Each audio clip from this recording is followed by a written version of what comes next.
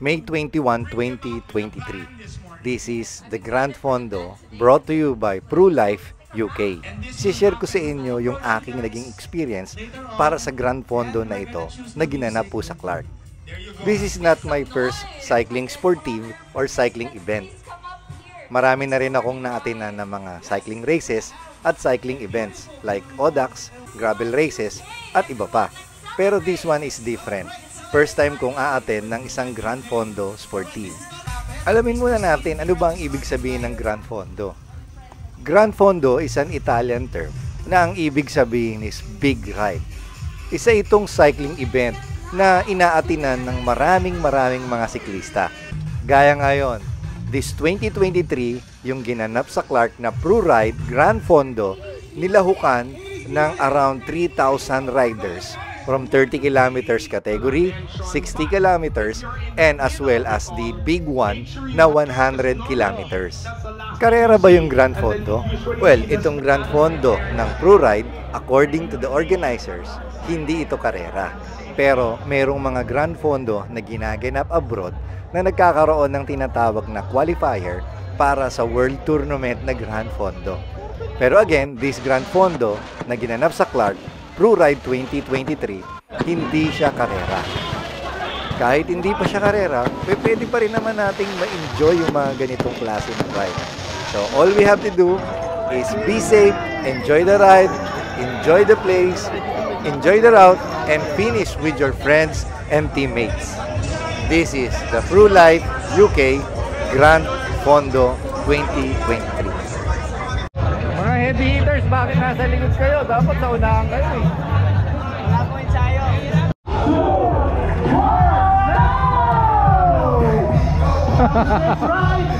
Sa dami ng mga kasali at participants, kinakailangan for the safety of all the riders, nag-wave by wave ang kanilang release.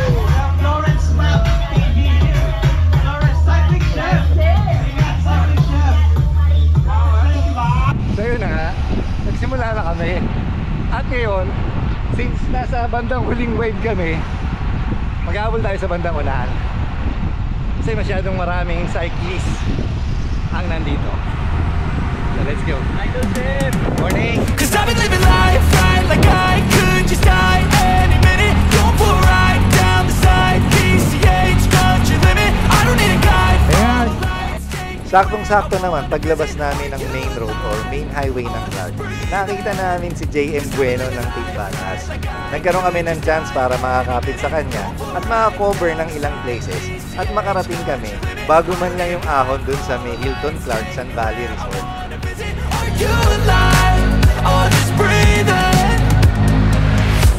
Flashing red lights, driving at night Windowless ride, feeling alive Nothing in sight, forever in flight. Follow those lines, we'll make it this time. Blurry street lights, work as a guide To memories that we'll make it tonight.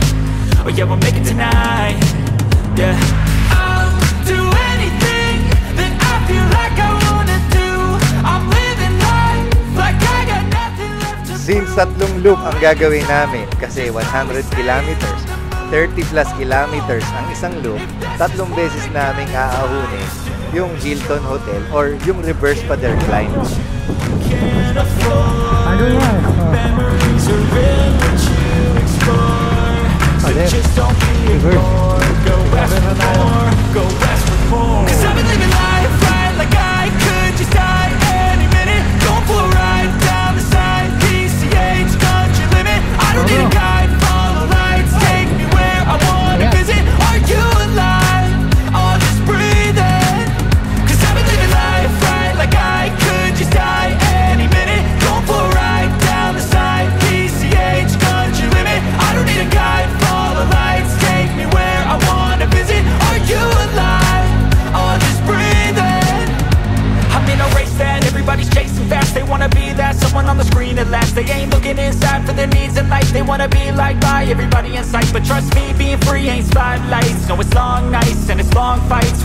All the time to get your mind right. But if you put in the work, you can find the light, alright. I'll do anything that I feel like I wanna do.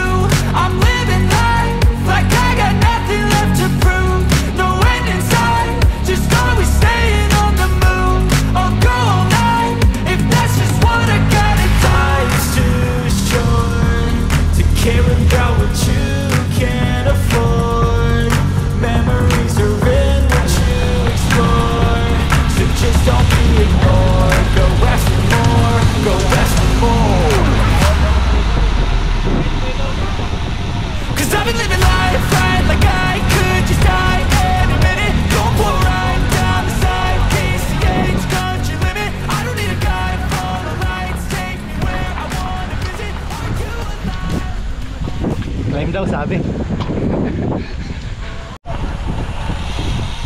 Bro, bro.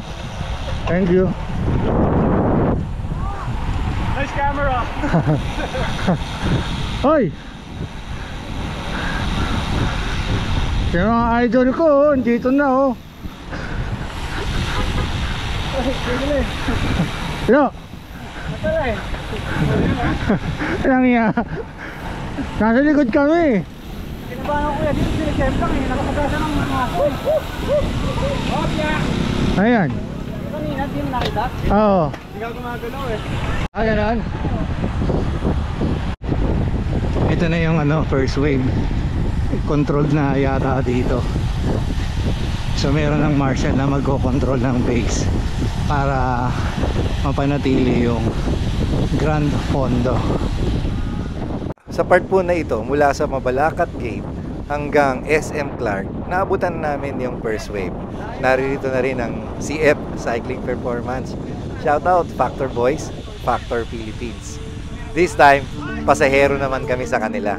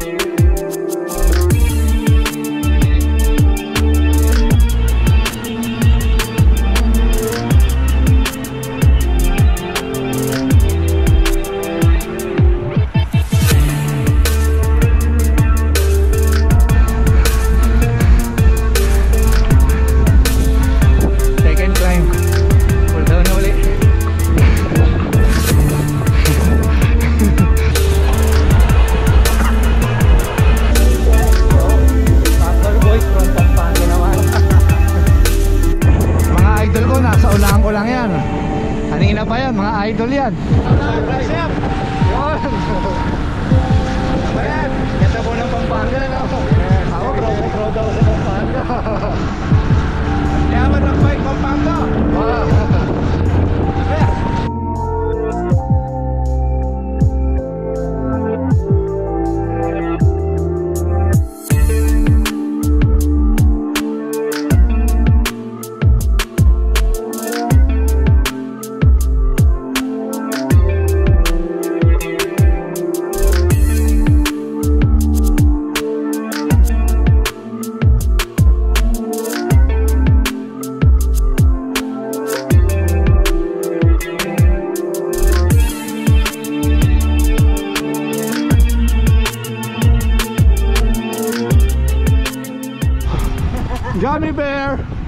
Breakfast!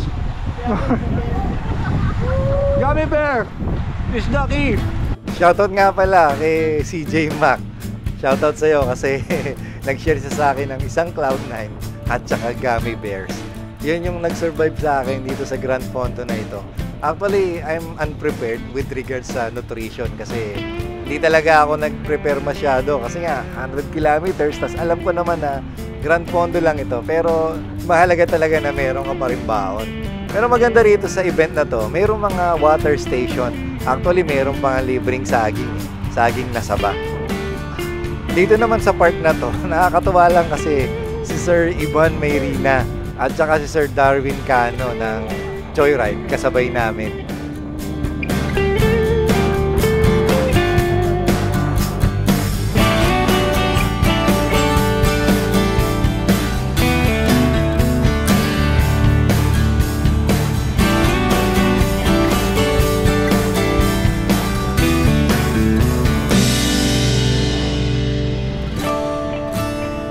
Ganitong klaseng group ride na talagang maraming participant, hindi talaga may iwasan na nagkakaroon ng aberya or aksidente.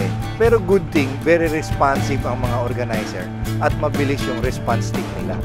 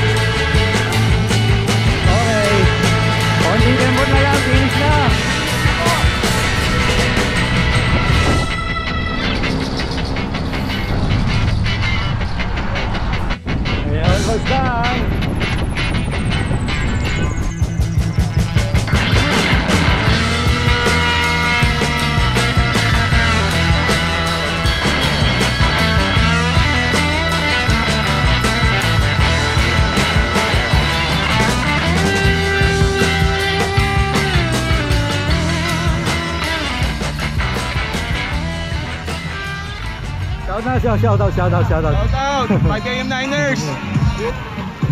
Eh, palakas mo naman. Hindi, wala. Tulo ka, nandito ka na agad. 96 kilometer lang yun sa finish line eh. Kaya kukumpletuhin namin 100. Okay, tinapos na rin namin yung 100. Medyo ulang kasi pero sulit naman. Ay, MTV, shout out. Okay, shout out mo. Invite mo sila pagka gusto nila umikot sa Clark. Invite mo, mga off-road. Pa sila sa Clark. Off-road tayo, pwedeng river crossing, uphill, technical, gusto mo. Okay. Ay, MTV ha. Link at the description. Support.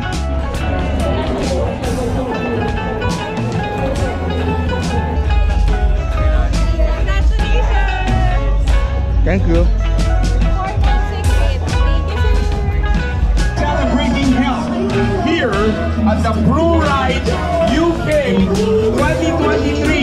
Brought to you by Brew Life UK. sa ambassador ng Pro Ride. We did enjoy the, this uh, Grand Fondo. Salamat po. Welcome. Come anytime. The next year again. Same thing. First and foremost, nagpapasalamat tayo sa Diyos na nagbigay sa atin ng buhay at lakas upang magawa natin yung mga bagay na ito. Shoutout sa lahat ng mga siklista at congratulations sa inyong lahat na sumali, nag-join sa ganitong klaseng event. Shoutout sa ating mga teammates, shoutout sa ating mga tropa, shoutout sa lahat ng ating mga nakasabay, nakasama, nakadaupang palad na meet sa ride na ito. If you like this content, please give it a thumbs up. At kung di pa po kayo nakasubscribe, please do subscribe on my YouTube channel. Maraming maraming salamat po sa inyo. Ride safe, eat healthy. God bless you all. This is the Cycling Chef.